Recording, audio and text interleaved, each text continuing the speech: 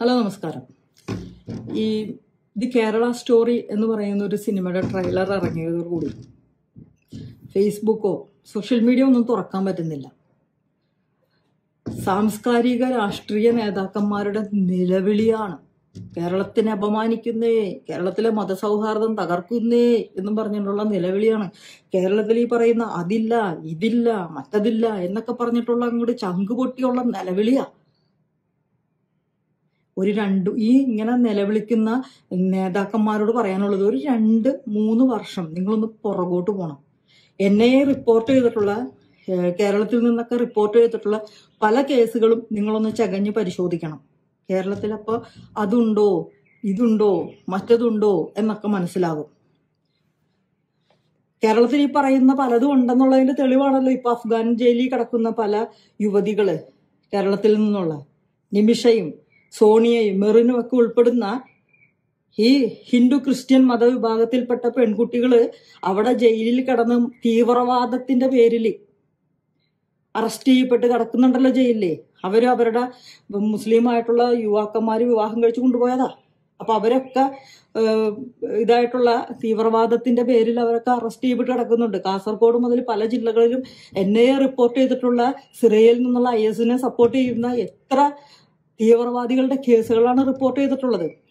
ബോംബിന്റെ അവശിഷ്ടങ്ങൾ ബോംബ് നിർമ്മാണത്തിന്റെ അവശിഷ്ടങ്ങൾ കണ്ടുകിട്ടിയെന്ന് പറഞ്ഞിട്ടുള്ള ന്യൂസുകൾ ഇതൊക്കെ ഓരോ വിഷയം ഉണ്ടാകുമ്പോഴും ഇങ്ങനെ പ്രതികരിക്കുന്നവർ തന്നെ ഇങ്ങനെ വീണ്ടും വീണ്ടും ഈ കേസുകളൊക്കെ അത് പരിശോധിക്കില്ല ഇത് പരിശോധിക്കുന്നൊക്കെ പറഞ്ഞ് ഇങ്ങനെ ഓർമ്മിപ്പിച്ചുകൊണ്ടിരിക്കുകയാണ് ഞങ്ങളെ പോലുള്ള പല ആളുകളും. പക്ഷെ എന്ത് ചെയ്യാൻ പറ്റും? വോട്ട് ബാങ്കിങ് എന്ന് പറയുന്ന എല്ലും കഷ്ണത്തിൽ ഉറിഞ്ചിങ്ങനെ പിടിച്ചു കിടക്കുന്ന നിങ്ങളെ പോലുള്ള ആളുകൾക്ക് പ്രത്യേകിച്ച് കമ്മ്യൂണിസ്റ്റ് കോൺഗ്രസ് പാർട്ടിക്ക് ഈ പറയുന്ന ഈ കേസുകൾ എന്നെ റിപ്പോർട്ട് ചെയ്തിട്ടുള്ള കേസുകളൊന്നും കേരളത്തിലല്ല ആൻഡമാൻ നിക്കോബാർ ദ്വീപുകളിലാണെന്നുള്ള ചിന്തയാണ്. ഇതൊക്കെ കേരളത്തിലാണ് നേതാക്കന്മാരെ. അപ്പൊ ഈ കേരളത്തിൽ നിന്ന് ഈ റിപ്പോർട്ട് ചെയ്തേക്കുന്ന കേസുകളൊക്കെ നിങ്ങൾ കണ്ടിട്ടില്ലേ? നിങ്ങൾ ഈ വാർത്തകൾ കേട്ടിട്ടില്ലേ? നിങ്ങൾ കണ്ണടച്ചിരിക്കണം ചെവി പൊട്ടയാണ് നിങ്ങളുടെ നിങ്ങൾ ഈ ഈ കേരളത്തിലൊന്നല്ല ജീവിക്കുന്നത്. ഈ ജാതി കേസുകളൊക്കെ ഈ കേരളത്തിൽ നിന്ന് റിപ്പോർട്ട് ചെയ്ത് കൊണ്ടുപോയിട്ടുണ്ടല്ലോ. പലരും അറസ്റ്റ് ചെയ്യപ്പെട്ടിട്ടുണ്ടല്ലോ. പലരും തീവ്രവാദ സിറിയയിൽ അവിടെ ഇവിടെയൊക്കെ കൊല്ലപ്പെട്ടിട്ടുണ്ടല്ലോ. എന്തിനു പോയത് അവിടെയൊക്കെ? ആട് മേയ്ക്കാനോ? ആണല്ലോ. അതാണല്ലോ രണ്ടു മൂന്നെണ്ണൊക്കെ ഇപ്പൊ ജയിലിൽ കിടക്കുന്നേ. അപ്പൊ കേരളത്തിൽ അതില്ല ഇതില്ലെന്ന് നിങ്ങൾ പറയരുത്. വസ്തുതാപരമായിട്ടുള്ള തെളിവുകൾ ഞങ്ങളുടെ കയ്യിൽ ഉണ്ട് എന്ന് പറഞ്ഞിട്ടാണ് ഇത് കേരള സ്റ്റോറി എന്ന് പറയുന്ന സിനിമയുടെ അണിയറ പ്രവർത്തകർ ഈ സിനിമയുമായിട്ട് മുന്നോട്ട് വന്നിരിക്കുന്നത്. അവരുടെ കയ്യിൽ അതിനുള്ള പ്രൂഫ് ഉണ്ടെങ്കിൽ അവരത് വെച്ചിട്ട് സിനിമ കേന്ദ്ര ഗവൺമെന്റിന് അപേക്ഷ കൊടുത്തിട്ടുണ്ടല്ലോ. കേന്ദ്ര ഗവൺമെന്റ് ഈ സിനിമയുടെ പ്രദർശനം നിഷേധിക്കാത്ത പക്ഷം ആ സിനിമ ഇറങ്ങട്ടെ. ഒ ടി ടിയിലെങ്കിലും ഇറങ്ങി.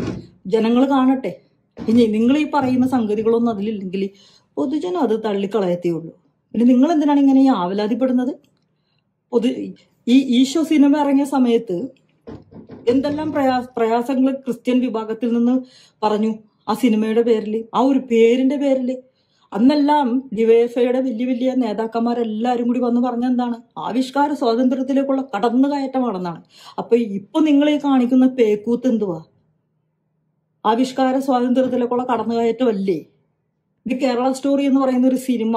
ആ സിനിമ നിർ നിർമ്മിച്ച ആൾക്കാർ അതിന് തെളിവുണ്ടെന്ന് പറഞ്ഞ് അവർ പ്രദർശിപ്പിച്ചാൽ ആർക്കെന്താണ് നഷ്ടപ്പെടാൻ പോകുന്നത്? പൊതുജനങ്ങൾ അങ്ങനെ ഈ മന്ദബുദ്ധികളൊന്നുമല്ല. അവർ നല്ല അരി അരി അരിയാഹാരം കഴിക്കുന്ന ആൾക്കാരാണ്.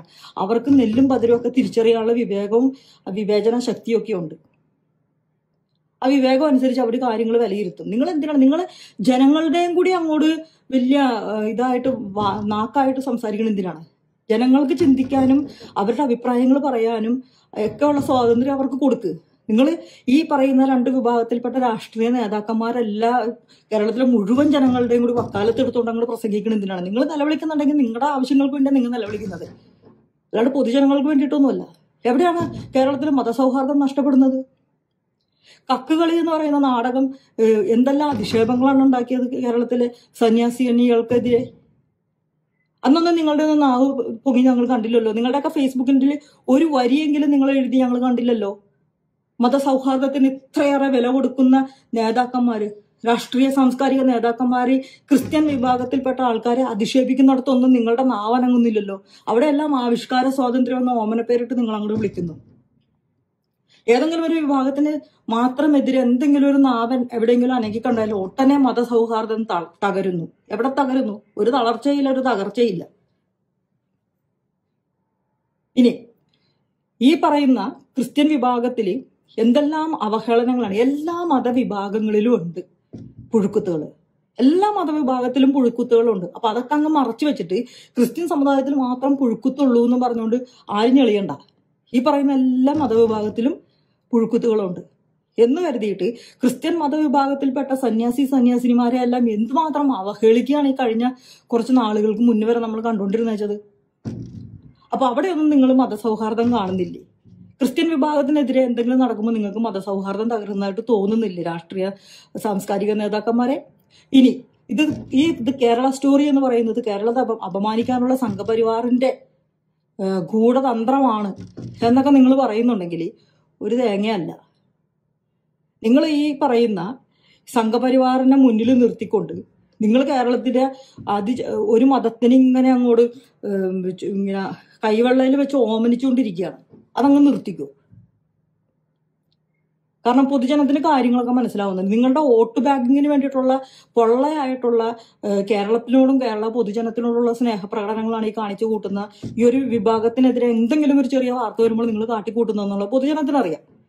ഇനി ഒരു രാഷ്ട്രീയ പ്രത്യാശയത്തിൽ വിശ്വസിക്കുന്ന കേരളത്തിൽ ഒരു മനുഷ്യനും പെട്ടെന്ന് ഒരു രാഷ്ട്രീയ പാർട്ടി വന്ന് അതങ്ങനെയാണ് ഇതിങ്ങനെയാണെന്ന് പറഞ്ഞാൽ ആരും ആരുടെയും പുറകെ ഒന്നും പോകാൻ പോണില്ല. നിങ്ങളുടെ പേടി അതാണ്. സംഘപരിവാർ കേരളത്തിൽ ഇനി വേര് ഊന്നുമോ എന്നൊക്കെ ഉള്ള പേടി. ഊന്നുകയോ ഊന്നാതിരിക്കുകയോ ഒക്കെ ചെയ്യട്ടെ. അതൊന്നും സാധാരണക്കാരനെ ബാധിക്കുന്ന ഒരു വിഷയമല്ല. പക്ഷെ ദി കേരള സ്റ്റോറി എന്ന് പറയുന്ന ആ സിനിമയുടെ അടിയ പ്രവർത്തകർക്ക് അതിൽ പ്രൂഫ് ഉണ്ടെന്ന് പറഞ്ഞിട്ടാണ് അവർ ആ സിനിമയും കൊണ്ടുവരുന്നത് അത് സെൻട്രൽ ഗവൺമെന്റ് നിഷേധിക്കാത്തിടത്തോളം കാലം. അത് റിലീസ് ചെയ്യപ്പെടുകയാണെങ്കിൽ കേരളത്തിലെ പൊതുജനങ്ങൾ കാണണം കണ്ട് വിലയിരുത്തണം ഇതിൽ എന്തെങ്കിലും സത്യാവസ്ഥയുണ്ടോ ഇല്ലയോ എന്നുള്ളത്. അത് പൊതുജനങ്ങൾക്ക് വിട്. അതൊരു സിനിമയാണ്. അതിൽ പറയുന്നത് വസ്തുതപരമായിട്ടുള്ള കാര്യങ്ങളാണോ അല്ലയോ എന്നുള്ളത് പൊതുജനങ്ങൾ കയ്യിലെ കാശ് കൊടുത്ത് കണ്ട് അവർ വിലയിരുത്തട്ടെ ഒരു സിനിമയും കേരളത്തിൽ നിന്ന് ഇറങ്ങുമ്പോൾ ഒരു നേതാക്കന്മാരും കൊണ്ടുവന്ന് കാശ് കൊടുത്തിട്ടല്ല ആൾക്കാർ കാണുന്നത്. അതുകൊണ്ട് സിനിമയെ സിനിമയായിട്ട് അങ്ങ് വിട്. ആവിഷ്കാര സ്വാതന്ത്ര്യത്തിലേക്ക് ഒരു രാഷ്ട്രീയ സാംസ്കാരിക നേതാക്കന്മാരും കൈകടത്തണ്ട. നിങ്ങൾക്ക് ഇരട്ട ചങ്കും പത്ത് ചങ്കും ഒക്കെ നല്ലതാണ് പക്ഷെ ഇരട്ടത്താപ്പ് വേണ്ട. അത് ഒരു മതത്തിലിട്ട് മാത്രം മതി. മറ്റുള്ള ആൾക്കാരുടെ അടുത്ത് ആ ഇരട്ടത്താപ്പം കൊണ്ടുവരണ്ട. Okay, bye.